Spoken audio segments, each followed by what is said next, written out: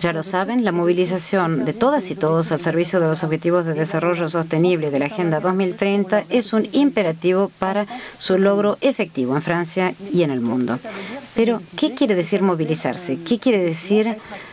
ser protagonista de los Objetivos de Desarrollo Sostenible de la Agenda 2030? Por supuesto que esta es una pregunta central, porque la movilización no se decreta, convoca a los actores, a la sociedad civil eh, de manera general al público en general, a que se sienta en condiciones ilegítimas para movilizarse. Ahora, estos dos aspectos de la movilización, es decir, sentirse en condiciones de y sentirse legítimo para, pasan por una verdadera comprensión eh, de los objetivos de desarrollo eh, sostenible y la filosofía de desarrollo sostenible y hacerse dueño de ellos. La filosofía de la Agenda 2030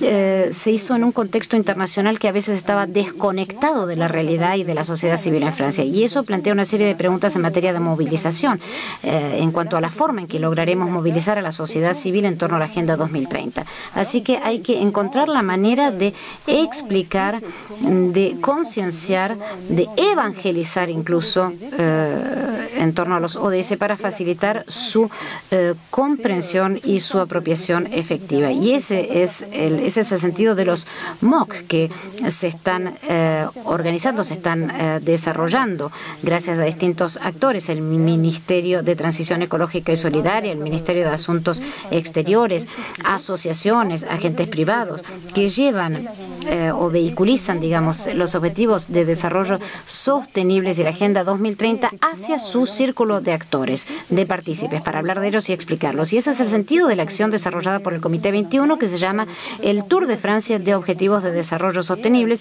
cuya vocación es nuevamente explicar y vehicular el mensaje de la Agenda 2030, la ambición nacional e internacional trasladarla a los territorios regionales en un contexto de una Francia descentralizada. Ahora bien, ¿qué es el Tour de Francia de los Objetivos de Desarrollo Sostenible? Bueno, no es un Tour de Francia en bicicleta, sino eh, que es un tour que se desarrollará a lo largo de varios años y se ha diseñado a partir de varias afirmaciones. La primera de ellas, a finales de 2016,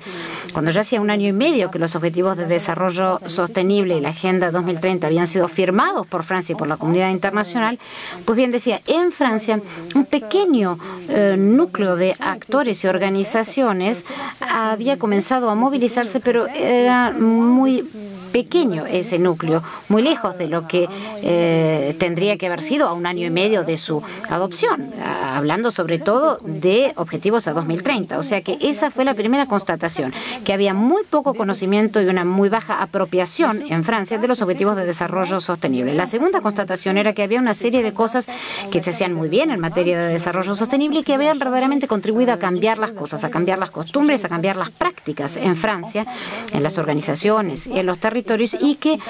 seguramente había que valorarlas, mm, promoverlas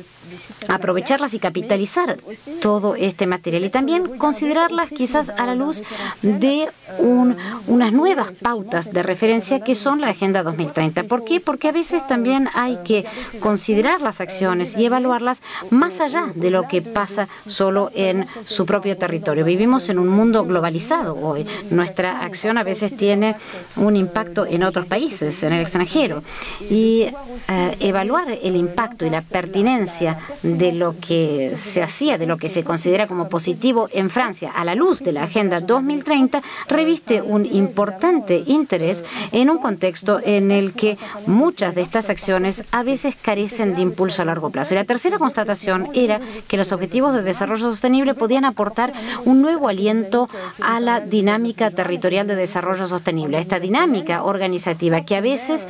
eh, efectivamente carecía de aliento a largo plazo siempre eran los mismos actores los que se movilizaban. Con la Agenda 2030, con los ODS, con esta filosofía tal como se la ha planteado y con todo lo visual, con toda su transversalidad, justamente podía ayudar a redinamizar las eh, iniciativas y proyectos en cuestión en los territorios franceses. Esas eh, son las tres constataciones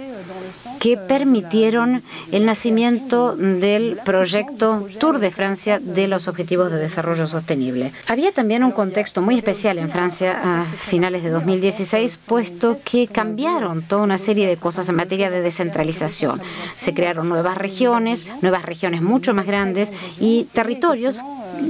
que a veces no se parecían mucho, o en todo caso no se conocían entre sí. Y nos dijimos que el Tour de Francia de los ODS podría ayudar a encontrar un denominador común, que es el desarrollo sostenible, para aunar a todos estos actores en torno a un tema que los afecta a todos en un territorio preciso. Esas son las constataciones del Tour de Francia de los ODS y del compromiso del Comité 21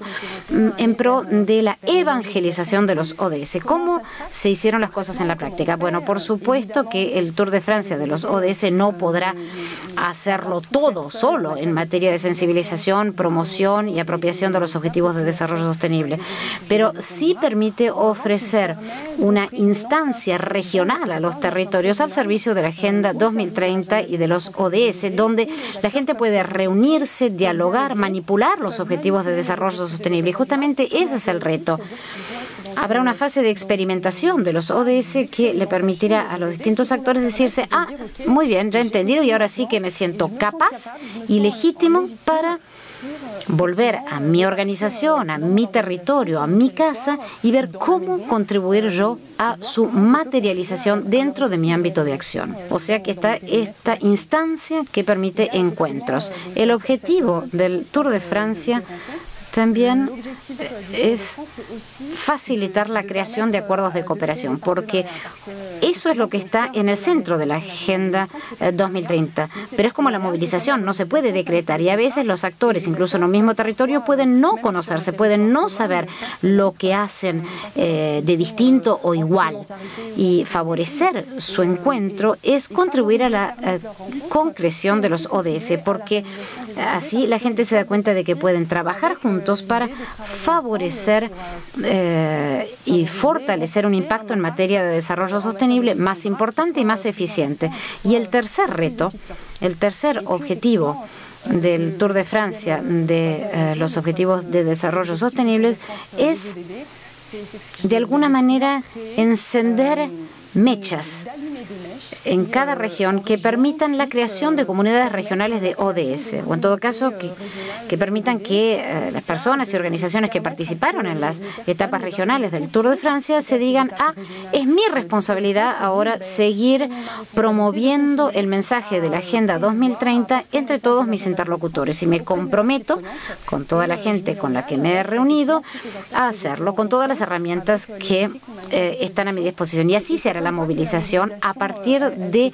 eh, núcleos concéntricos, permitiéndoles que se dispersen, se diseminen en todo el territorio y lleguen a la realidad territorial, al nivel más bajo. El Tour de Francia sigue en 2018 con una etapa en la región del este en septiembre, una etapa en Occitania a finales de 2018 y otras etapas en 2019. Toda la información estará a disposición en el MOOC y también en el sitio del Comité 21 para seguir el calendario.